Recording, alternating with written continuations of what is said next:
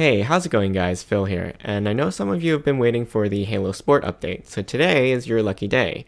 First I'll go over how the unit works, and then I'll go over the results that I saw during my trial. So let's get started. Let's have a quick look at what's in the box. You get a quick dry clamshell carrying case for the headphones, some instruction booklets, a recharge kit for the neuroprimers, a Halo sticker, a set of closed ear cups, a USB wall adapter, and a small spray bottle. Then inside the case, you have the headphones, a flat male to male audio cable, flat micro USB charging cable, and in this box are the neuroprimers that'll go on the underside of the headband. The recharge kit is basically a couple of packets of saline solution and a little plastic tray. You use these to refresh the primers after you've used them for a couple months. For those of you new to TDCS devices, basically the idea is to send tiny electrical impulses into your brain to activate certain parts of it. This stimulates or elicits certain chemical changes. On the Halo Sport, that's done through these spongy nibs called neuroprimers. The beauty and simplicity of the Halo Sport is that the headband of the headphones lines up perfectly with your motor cortex, the part of your brain that controls body movement. Stimulating these neurons can put them in a state of neuroplasticity, meaning you can learn faster and more efficiently during physical training. Reportedly, this helps you train for anything from athletic skills like swimming or swinging a baseball bat to musical dexterity like playing an instrument, and they also function as normal headphones for listening to music too. The headphones have a flexible metal and plastic body that's a bit heavier duty than your normal cans. It comes pre-installed with 3.5 inch open ear cups clad in a soft, squishy leatherette covered foam. The headphones charge via micro USB on the bottom of the right earpiece.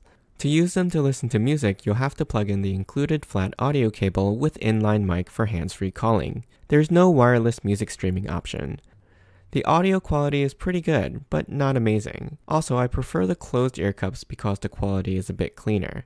However, the biggest drawback for using these for music and working out is that the wire hangs down, so most times I just use the neuropriming feature without any audio. You'll need the Halo Sport app to control the neuropriming, which is available for iOS and Android devices. There's a couple of tips in the app that help you set the headphones up, but there's only a few steps here. First, wet the primers, making sure they are fully saturated. Then install them in the slots under the headband. You only need the two outer ones for hands and finger training, but you'll need all three for full body workouts. Then just wear these like ordinary headphones. The app will tell you if there's enough skin contact with the top of your head. If there's not, just wiggle the headband back and forth a bit to push your hair out of the way. Next, choose the type of session, legs, core, and arms, or hands and fingers, either right or left. Press start and it'll count down 20 minutes for that session.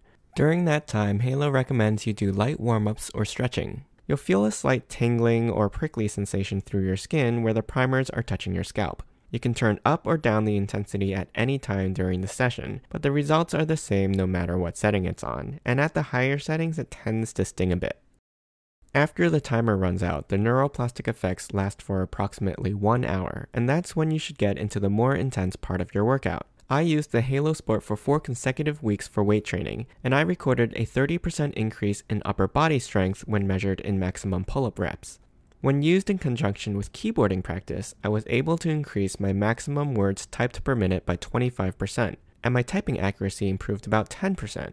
During my practice sessions, I felt like I was more focused and able to adapt to new exercises more quickly. I'm not attributing all the improvement to the Halo Sport, and it's basically impossible to tease out its exact effect. But I will say that the speed and extent of the improvements in both my trials was better than I had anticipated. My takeaway is this the Halo Sport isn't a magic gadget that you can wear around all day and become more athletic. You still have to train hard and practice while you use it, and in most cases, that's going to help you improve anyway.